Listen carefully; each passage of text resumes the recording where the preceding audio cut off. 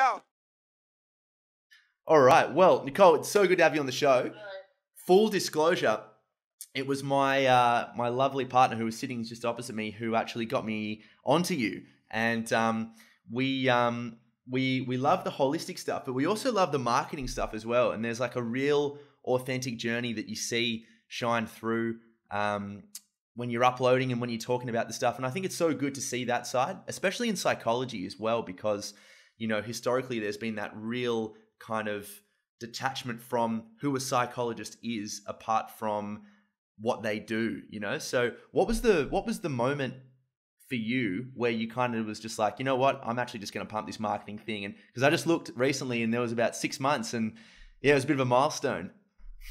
Yeah absolutely. So first of all thank you lovely partner back there. Yes. Hello. for sharing, for sharing my work. It's very awesome um, so yeah, I mean, I think I want to just quickly. So part of I think the reason why, especially in psychology, to speak to your point, mm. people maybe aren't sharing, sharing personal details. Definitely, I think social media is this whole gray area for everyone kind of in, in, the field because I think to a large extent a lot of us were trained actually not to do that. Mm. Um, that there's a lot of psychology training, at least in the traditional model, whereas I mean even as directly as no disclosure or don't be a person in the room. Maybe yeah. you've heard of this idea of the blank slate model. Mm. Um, so I think I say that because I do think a lot of clinicians. Uh, operate like that in the rooms. And now I see that translating largely into social media yep. with even questions from especially some of the older term clinicians about how to even use that. Is it appropriate to be on there? Okay, and if I've made a decision to be on there, yeah. what is appropriate to share and not, and not to share? Yes. Um, so I've always been, I, I, always kind of joke, I've always been kind of like in my own lane uh, in terms of the clinical work I've done, and I've always been a very full disclosure person. So I've always been someone who is comfortable being a human in the room and have, has always operated that way clinically. Um, and then obviously I started to watch social media expand and the world, and the connections that could be made on there. Mm. And it felt like that was a natural next step, especially when I was evolving my message and really wanting to, I think, get, get some of this information out there on the more global scale. So, you know, social media to me was a huge, was a huge untapped resource. And like I said, being comfortable with sharing my own parts of the journey. I thought that that would add not only a cool, you know, a, a different perspective on kind of who a psychologist is as a person, um, but I, you know, I, I, will often write a lot. I actually just wrote a post this morning sharing my own struggles and healing too. You know, having and walking alongside of you know the self healer movement that I'm you know trying to you know very much a part of at this point. I, I think it's important to also share the difficult aspects of the journey too. So that just became again another another why not you know if i can be Mm. human and can show people that this isn't easy um, let me let me show people the whole of the experience and not just be someone who's saying do this or don't do that let me show what it looks like to do it right alongside of them and to struggle in ways that i know a lot of people struggle Yes, yeah. And I mean, you say it in such a way, you, you can see both sides because one, um, you know, the the trying to be a almost fly on the wall concept is it, it, it has its benefit because you, you can, you know, as as human beings, we're so easily influenced by the other person that, you know, a, a client could say something and then, you know, you're triggered or, or things are all happening as well. So you see both sides. But I think um, more to your point, especially with what you're doing now, it is so good to see someone who practices what they preach and it's it's like hey look we are all in the struggle together to use that word. Life can also be a bloody blessing. This is my area. This is why this works because i've tried this other thing and that made me feel terrible. So i'm telling you anecdotally this is why and then this is also the science as well. I think it's fantastic you know? Yeah. So yeah. Absolutely. And I think so it becomes navigating the difference, like you were saying, between being able to be objective, right, in the room where if I am being triggered, I can leave that out, but also being the humanity and being, you know, bringing in the relatable part. So I think it's navigating that fine space. Yeah, for sure. And you got to have a fun time while you're doing it as well. Social media is fun. Look what we're doing. I know it's very cool. I mean, I, I am just still blown away by you know kind of the community. And I say this too. I can't take all the credit because I think a huge part is just people's readiness. Like I'm Mm. putting a message out there, and at this point, I mean, Jesus, sixty thousand people are ready to hear that, and you know, I think it's just so emblematic of the greater shift in consciousness that's Mm. happening. And you know, it isn't me. And again, I think people are yearning for community and connection because sometimes I think part of the process can be very lonely and isolating. Mm. We have to shift a lot of relationships where it may be existing in the world in a much different way than some of our peers are. So I think it's beautiful to be able to have the connections that yeah they might not be in your in your neighborhood, in your town, in your city, but they can still be really really valuable. So I just think the community aspect of social media can be incredibly helpful. Mm, absolutely. Yep. Um, so I wanted to ask, you came through and you studied and you went through that way, um, and then now you've kind of made a bit of an adjustment to more of the holistic approach. On that new front, what's been the most um, well received um, tool, I guess, you know, because you've got your breath work and even diet is such a big one as well. But I guess where do people see the biggest shift from that new holistic approach? I think that, you know, I think, I mean, mindfulness, I can kind of back it up too. I think mindfulness has always been a part of my practice before yep. I would kind of have taken, I had two pivots in my own personal life and personal training or clinical training. Mm-hmm. One was discovering mindfulness has happened well before mindfulness, I think, is what it is now. Mm. Um, and then the next pivot was kind of my health and realizing that the body had to be included. Um, I think mindfulness has always been there in my world and is definitely part of the, the, the holistic approach that I now utilize. I think that's the most that's kind of the universally known aspect of it yeah. now. Anyone who practices yoga or med- you, you, at this point you've heard of mindfulness and meditation. Yeah. Um, so I think that's been a, a really naturally kind of um, integrated part into you know of my message that most people can identify with, have heard of, or relate to, maybe even try. Yeah. Obviously, these barriers that people get tripped up around with all things mindfulness and meditation. But I think that was that's the first kind of eased way in because it's natural, it's there. Like yes. Yeah. It. Um, breath work, I think, is an extension of that, right? So, like here, let me show you that you have more control. Let me show you that Mm. you can control your body. This is where we're actually making that connect between intention or the mind and choices and, and our body's physiology. Um, I guess I would put all things nutrition and third on the list because I think that there's a lot of overwhelming, contradicting, opposing information out there on terms of nutri- all things nutrition. Yeah. That I had to sift through myself in terms of my own self healing process. So I get it. Yeah.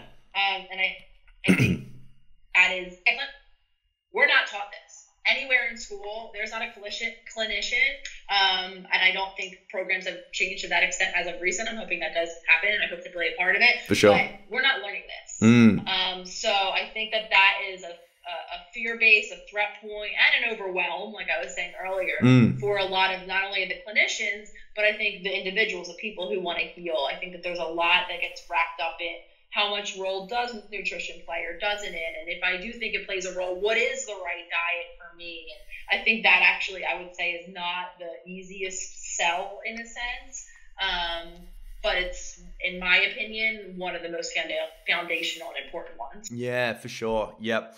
It certainly it certainly sets everything else in tone as well. It's so funny though when you have um, when you are going through like a mental health issue, and speaking from experience, you know, taking myself back to that moment, nutrition was like the last thing I was thinking of. You know, I was really worried about the, all these intrusive thoughts and worried about the compulsions I was doing and stuff. And the last thing I was thinking was like, oh yeah, that's right. I ate like 79 chicken burgers last night. It's probably not the best thing, you know? right, right. Yeah, I, I agree with you. And I think it's, it's not only the not intuitive thing that we go to first, um, I think that there's a lot of feelings and beliefs that get wrapped up around in terms of resistance. Mm. Um, I think eating and food is so much beyond nutritional needs that my body has and what I'm putting in. We have meaning, psychological, emotional that get wrapped up in our in our eating behaviors. Mm. I think I did a post recently about accountability. I think that there's it's, it's much more complicated. Yep. And like you're saying, it isn't the first thought of thing, but it's also the most consistent thing that we do have control over. That I do think, like I said, has a lot of barriers to us taking the control and making the better choices for ourselves. Yeah, yeah, absolutely. And so, where does uh, does breathwork come into this? Because uh, I'm a little bit biased because Siobhan here is um, really excited about moving into that area. So um, I was nudged to ask that question, but um, yeah, how does it how does it come into your practice? And um, I guess if you could explain explain to the listeners kind of what the benefits of breath work are, because it's um it's very uncommon to people. It's not a it's like it's not a household known, I guess. Yeah. No, absolutely not. I mean, it's the funniest thing, right? We all breathe every day to stay alive. Well, I don't, we're but not taught to breathe. yeah, well, you are special. We're we're not taught to breathe, and we don't understand. I think the power of the breath, really. Um, I think naturally as a culture, even as a species, really, although there are some cultures out there that I do think value breath more so. Um, but it's incredibly important because, like I said, it's the bridge between our mind, our conscious mind, our thinking, our choices, Yep. and our physiology. I mean, we, we can literally directly affect our body's physiology down to stress hormone level with the power, of the choice, and the engagement in breath work. mm, Um, but I think it's hugely, incredibly important. The call that I got off of right before our call today was all, all about breath work, all about the reality. So we have to simplify it. We have two nervous systems in our body. One, your listeners might have heard called the fight or flight. It's the sympathetic nervous system, and then we have the parasympathetic or the rest and digest nervous system yep, the way they work is they're like the brake and the gas in the car, meaning when one is activated, one is deactivated. The issue has become now for humans, so our resting state as a human should be should be that we are in parasympathetic, we are in rest and digest all of the time until there's a very real threat that then we shift over into fight or flight. We literally fight or run away. We save ourselves. This is obviously very evolutionarily based save ourselves. We have all the stress hormone running through us. Our muscles are primed for action. We're not digesting our food. We're doing all this good stuff to keep us alive. Yep. And then we go back down to, to rest and digest, right? Mm-hmm. The reality of it is, threat has taken on a whole new level for us as humans, even though we're not on the tundra anymore, right? Emotions are threats, environments are threats, city life is a threat. mm, Um, and our mind doesn't know the difference between what's real, the tiger in the jungle, or what we're just imagining to be real. So Mm. most of us as humans are spending well, way too much time, if not all of our time, in that fight or flight nervous system, which Mm. has so many, you know, kind of difficult uh, effects from you know being wired and tired, having brain fog, not being able to eat, eating too much, not being able to sleep, sleeping too much, right? It has all these negative effects. I think that we being hyperactive, hyper reactive that we carry. So breath work is a great tool that we should use consistently to start to reactivate that rest and digest system so that we're spending more time balanced. yeah, yeah, and it's also there's also a bit of knowledge in it as well, which is there's that little bit of break between someone who's the expert and someone who isn't, because I know coming from a CrossFit background that what a lot of people do to you know calm down from all the stresses in everyday life is go and do an intense workout which more often than not kind of spikes the uh, the fight or flight even more because there's so many physiological stresses as you know Yeah, absolutely. I think that that's a, a huge a huge part of it too, and and a, lot of times there's been a shift. I think in terms of what exercise is, in terms of its benefits, what types I should say are beneficial. And while yes, bursts of activity and strength and HIIT type models, CrossFit type models are absolutely helpful, and they have a lot of great physiological benefits as well. Yeah. But you're right. I think that we can even err on the side of being over reliant or doing too much of that, where again we're chronically stressing our body in a way that if we don't build in these more balanced moments, we're going to just continue to have those scales tip. Yeah, yeah. I've also I've got a this is an area that I've been deeply fascinated with um, over the past quarter six to eight months. It's the um, existential, I guess, suffering, if you want to call it that, that we're kind of seeing in the 21st century. And I wanted to um, kind of open that discussion a little bit and kind of where you see a lot of people coming to you, where their suffering arises from. Is it that that you know we have all these availabilities now that everything seems to be a little bit meaningless, and that's when the neuroses you know begin to manifest. And yeah, if you could just explain and talk a little bit about that, I'd be bloody interested. Yeah, absolutely. I'm going to actually take it a step back beyond before yeah, what we have or don't have in our external and say that, in my opinion, at least most of the existential crises I see and work with pretty much on within every human has some version of it. Mm. It's actually a disconnect from the self. yeah, It, it actually starts inward, right, which then results in it looking outward for these things, Mm. which might feel meaningless. But my argument is always it's because it's really reflective of our relationship or lack of relationship or complete disconnection and or you know kind of subversion because I, I know I really want to do this but I'm doing this and again there's a million other iterations of that from the self Yeah. I think it originates at that deeper space. Again, for many different reasons, many different pathways that we come by it. But I think every human in some, some way is disconnected from themselves and or meeting their own needs, you know, and or knowing what their passion is and what path that they need to be on. That then and does look a looking outward and it can translate to like it's too much or it's too immediate or it's not enough or it's meaningless or it's empty. But like i said i think it really originates in, in what we feel or don't feel about ourselves first. And i think every i think it's a shared a universality. I think that most everyone i work with has to do that deeper level self work yeah. as part of their journey. It's the longer term work but it's it's it's integral. Yes absolutely. And you actually see that in the rise too with um, again like we spoke about the um, you know the, the rise in the extremes because people are so far on the opposite side of things. So like just the idea of CrossFit. I'm not having a go at it because I'm actually a CrossFit coach myself, but um, probably not for long after this podcast. But but um, you know, you see that where people are just so stressed and or anxious and depressed on one side, so they beat themselves up on this other side, and you actually see that um, with consciousness itself. You see people heading down to Peru to just really get involved with ayahuasca and you're trying to take lots and lots of psychedelics. But I guess it comes from I need to get myself fixed. I need to, so I'm going to take this, which is actually the same as doing nothing as well, because there's no work involved with that mindset. I think it's looking for, like I said, the external right thing outside, mm. while the ayahuasca and again, plant medicine, I, I, don't think, I think that it can have, have some therapeutic value. For sure. Connecting one to the cell, removing blocks and like that.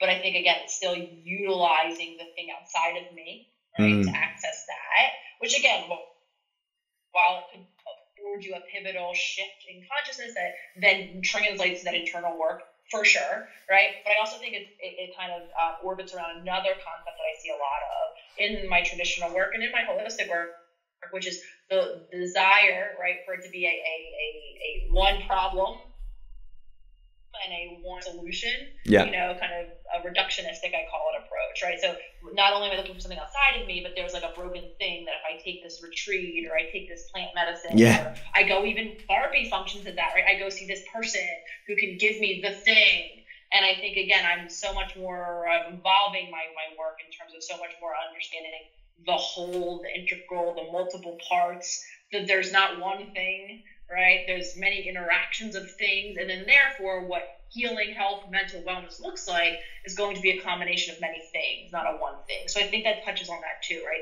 This idea that I'm feeling empty, so I'm going to go on this journey, one thing, do this one, you know, ayahuasca experience, and now I'm fixed. And I just don't think that that's the reality. yeah, and look, I mean, akin to your work, I would I would even argue that it's the only way to do it because number one, as human beings, we're always going to have something that needs fixing. We're never going to be perfect, but if you can find something in life that kind of makes that almost enjoyable or worthwhile, then you kind of accept everything else that, that comes from that. You know, it makes it a bit more yeah meaningful.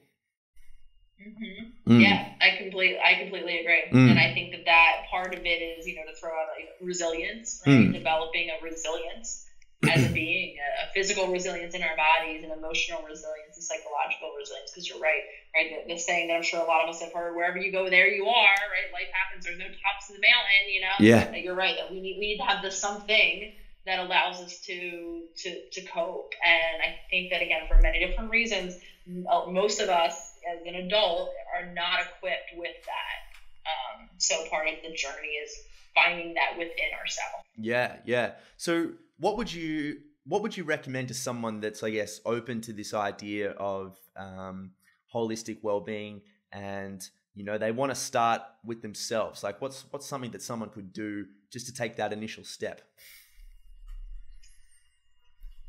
Yeah, I mean, I think uh, acknowledging that you are playing a role is the hugest, you know, kind of yeah. psychological love that, right? Accountability, right? Acknowledging that you know we're, we we played a role, whether we like to admit it or not. Mm. You know, again, some of it has to do with you know accumulation of past experiences, you know, but again, we are actively playing a role in our daily life, yeah, and therefore taking some version of an accountability. So okay, because the, the flip side of that, as difficult as that is to, and I actually wrote a post that today, I, I did not like that I did not like to have to take responsibility. I yeah. came from a, a long line of, of external externalizers and yeah. you know, kind of blaming and things outside of myself resulted in you know my fortune or misfortune to be honest Mm. right so overcoming that mindset was was very hard for me um, but I think on the other side of that, as difficult as it, as it is, which is why I share that, it's hard, I think, to acknowledge that we're playing a role and that we need to take responsibility. Even in our wellness, again, I don't believe that there's a gene that I have or don't have that results in my physical or mental unwellness, right?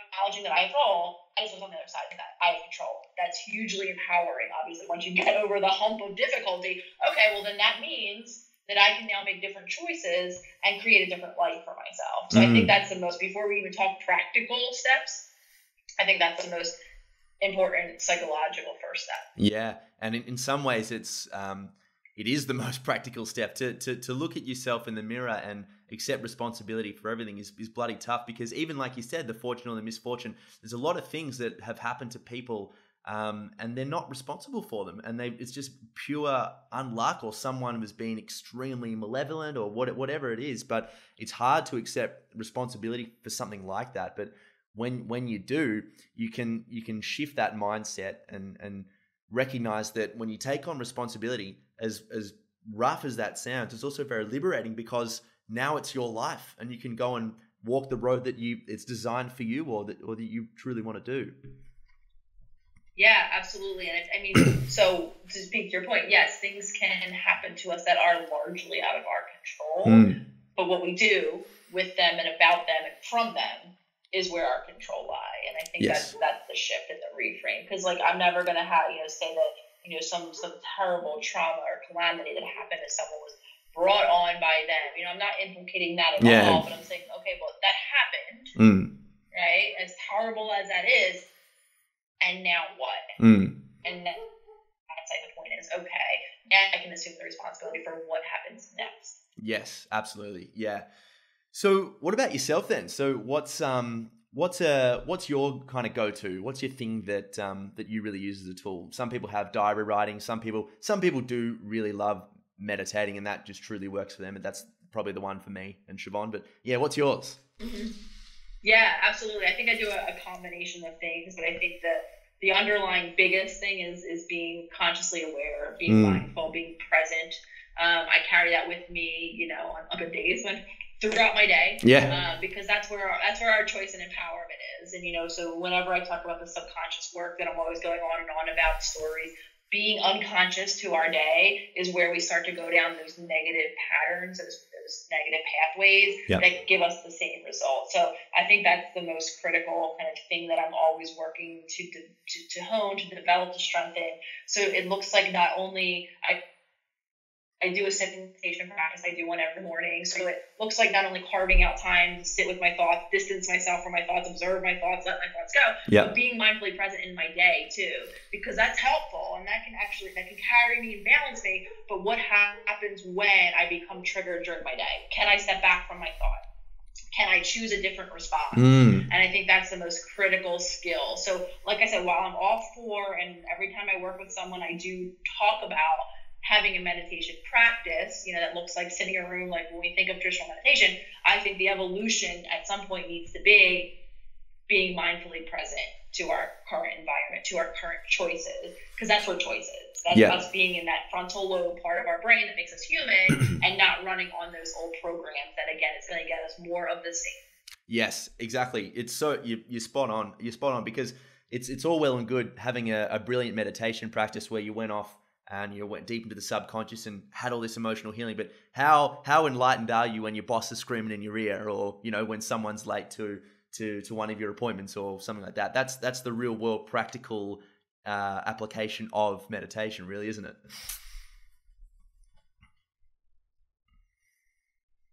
Yeah, absolutely. And I always about it the steps for change or healing our work, and one of them is awareness and you know developing, like you said, through this great meditation practice, being able to look at all of our stories and understand them, yeah. and connect them back to our past, back to this great future, right? But then there's then there's action. Okay, yeah. Well, now what? Right? If you're only if that's only going to be contained in that meditative world, again, while that's well and great, and we can get really good at that. You're right. What when are we different now in the world to mm. start getting different results? And I think those are the a lot of times we become stuck along the way at different junctures, but those are the two major junctures. Yeah. And again, I relate to this on a personal level.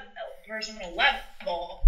I've always been someone who, you know, has considered myself self-aware. Mm. You know, I, like I said, I discovered mindfulness very early. You know, I kind of like got it, but yet I was still doing all those same ne- negative patterns because it was just so hard for me to translate that into life and when I was triggered. Yes, yes, yeah.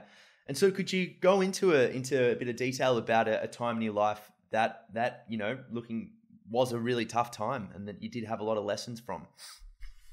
Yeah, absolutely. So it you know originated around so about a couple of years ago. Like I said, I was marrying along. I had mindfulness in my back pocket. I was self-aware. Someone who you know I've I've been anxious my entire life. I literally was a little kid, you know, hiding in the room, afraid of bad things happening. Um, my 20s were, you know, panic attack after panic attack.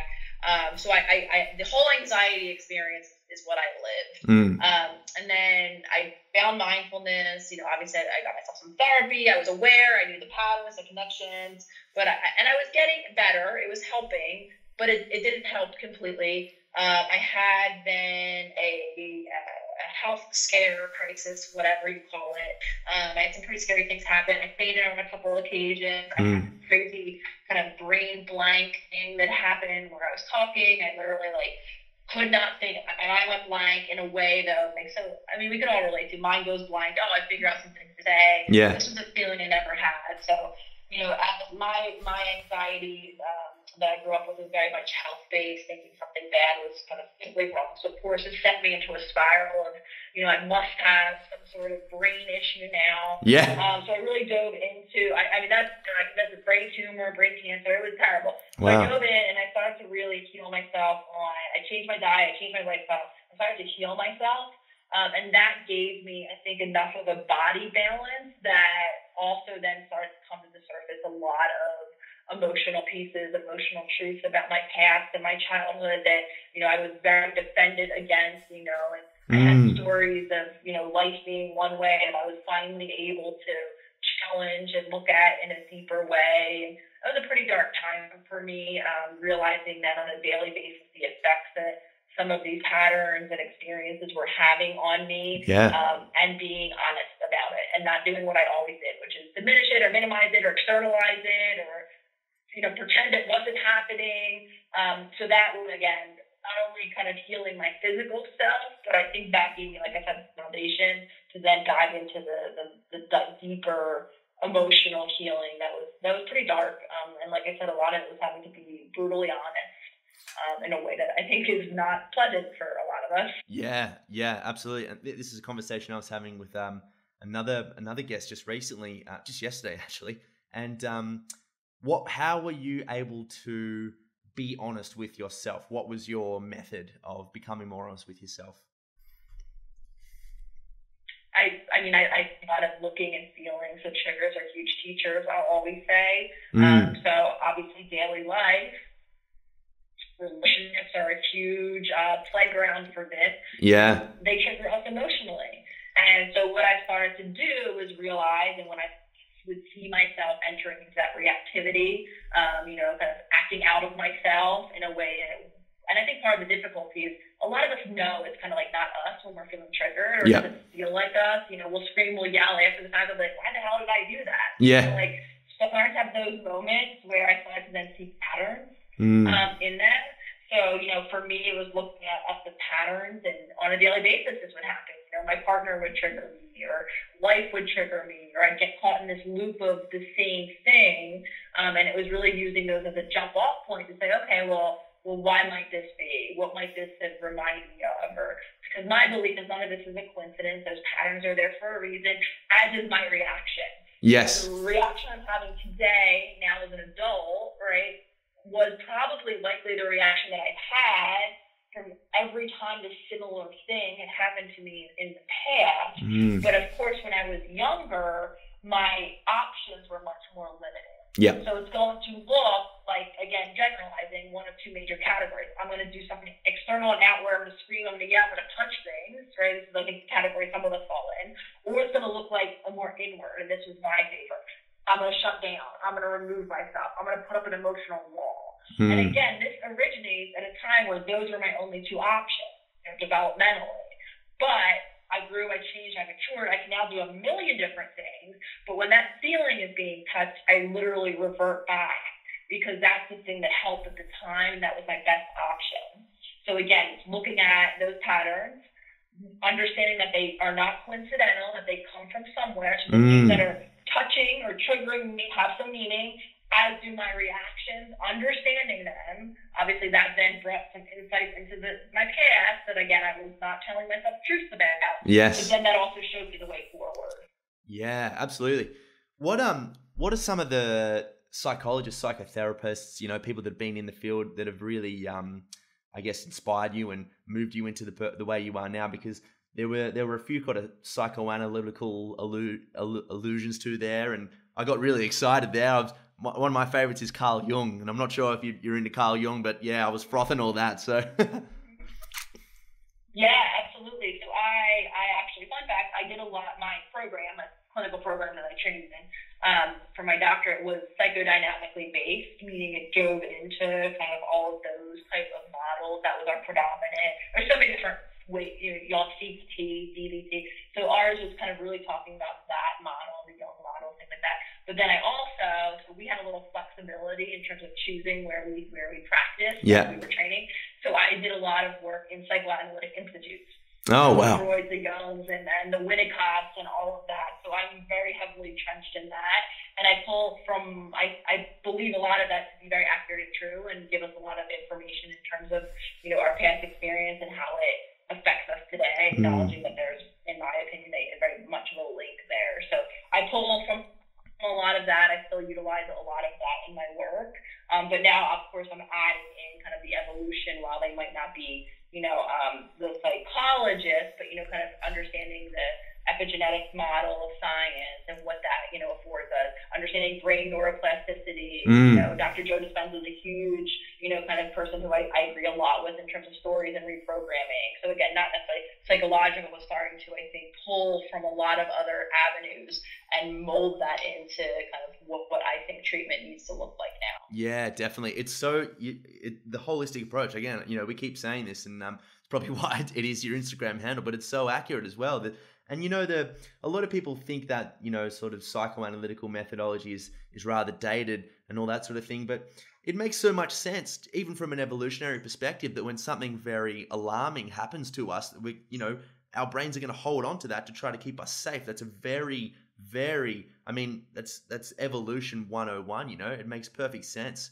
Um and i think i think it's good to have that that foundation you know of like you said cbt and positive psychology and even like an awareness psychology.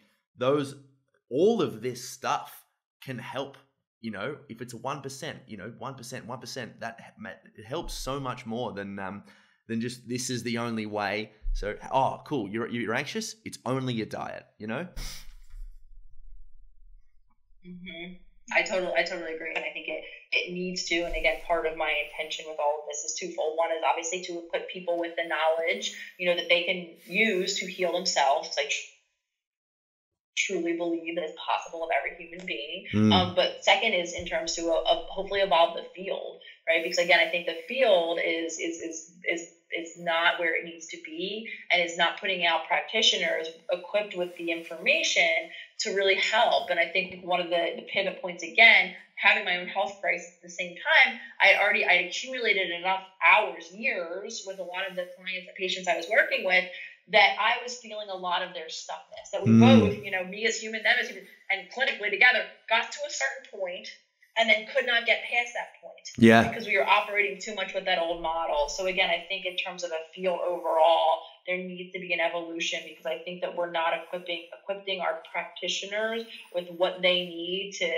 evolve people past these certain points that I think these more traditional models um, stop at. Yes, absolutely. Even even the very simple idea with a patient coming to a GP, for example, and this is by no means an attack on GPs, but you know, saying they have depression and then being, oh, it's a chemical imbalance in your brain, for example. There, there's something so um, what the opposite of empowering, you know, disempowering with, with that idea. It's like, oh shit, so there's nothing I can do about it. I'll have to take this for the rest of my life. Great. Even that thought alone with anything in life, not even just, you know, something on the brain, makes it very, very difficult to contend with. Absolutely. It's it's you said the right word, the word I tell him, and it's very disempowering. But it's based in I think a lot of internal beliefs mm. too, and myself included. I was medicated for my anxiety. You know, I told myself that I just had that chip. My mom I still had anxiety you know, that's where I got it from. Yeah. That would fix this chip is the medication, you know, that I was on. I had a lot of similar limiting beliefs in terms of my body. My body looked like this because this is my genes. My body could not look like this body. Yeah. You know, I could not develop muscles there, or you know, I always was going to have this there because that's just what I was dealt with. And mm. I think it is very hugely, and again, of no fault of their own because medical doctors as well, GPs, are not trained in this more holistic model. This is just a global thing, you know, that that is not equipping any of us, I think, with the reality of it. Definitely. Um, and you're right. It, it means then that there's one problem with one solution, and I have no other choices. But I believe actually the complete opposite at this point. Yeah, for sure. Yeah. So you were saying before how um, we didn't actually touch on this, but with the movement that you are creating, where would you like to see this go? Like, what's your? I'm sure you have a vision. Um, you spoke about Joe Dispenza before. I'm sure you do. What's um? Yeah, where can you see this going? Yeah, absolutely. It's, it's interesting. Someone asked me the other day, you know, something along the lines of, you know, what what is the one thing I would want in terms of, you know, to see happen? You know, honestly, it's, it's empowering people. It's mm. that exact message. Just having lived it myself, you know, how incredible it is to truly sit here and believe in my soul of souls that I am capable, you know, of, of pretty much creating the life that I want from mm. the physical health that I want to the emotional wellness that I want. So what I would love to see is just this to continue to be a message that gets out there globally and that if it just continues to touch people, you know, that are ready for it, that and to shift them out of whatever limiting belief or mindset that they have and to give them control and power and choice. I think that is that that would be you know that would be everything to me. Yeah, yeah, it it, it bloody would be because it's it's about time that people start to take power for themselves. Mm-hmm. Be great. And like I said, I think that I think that the just the growth that the account has had in such a short period of time is really indicative of people being ready. And there's mm. a lot of people out there that are ready to hear this or, or, or if they're not ready are able to hear it. And then, you know, I, I get messages every day with the changes that they're making and, you know, the, the changes that they're therefore seeing in their life. And that is just so beyond motivating to me that, you know, that that's what keeps me going and that's what keeps me motivated. And like I said, if I can just keep getting that message out there for the people that are open to it, I think that's, that's amazing. Mm. Yeah. One of my, maybe one of my favorite authors was um, a mythologist called uh, Joseph Campbell, and he was influenced heavily by Carl Jung actually as well. And he wrote that the difference between a celebrity and a hero is that a celebrity does everything for himself, but a hero does everything to bring other people up, you know, and create a movement. And um, it's very similar to what you're doing, which is awesome. Nicole, thanks so much for coming on the show. That was awesome. Well, you just completely humbled me by even saying. So you've literally made my day. Thank you so much, for that. Listen, I, I want to thank you too because you are, you know, people like you having me, you know, talking to me, helping me spread this. You know, this get again just gets across the ears of someone else that of course. You know, wouldn't have come across my message before. That I, I mean, you guys are the reason why this is this is traveling. So I thank you. Yeah, ab- absolutely. No, I love it. We're um, we could keep going on and on about how much we who who who thanks each other more. yeah, right. That's right. great. Yes, exactly. Yeah. Hey, um, where can people hit you up? And now, now's the time to go for a plug. So go for it. Yeah, absolutely. So the best place, the hub that I'm literally at daily, and again, like you could, like I said earlier, you can watch me do some of these things, listen to me tell you how hard it is, but I'm still doing it. is at Instagram, uh, the dot holistic dot psychologist. Um, check me out there. I try to be really responsive in the comments messages. I have a great, amazing, supportive community, a, a, lot of individuals who are going through similar struggles, similar journeys, all willing to share and be open. So the dot holistic dot psychologist. Um, I also have a website, which typically is a link in my bio at yourholisticpsychologist.com. Although what might be in my bio now is my new um, YouTube as well. But yeah, Instagram is where I announce everything. So come find me there. Beautiful. Awesome. Well, thanks again. And um, that's a wrap.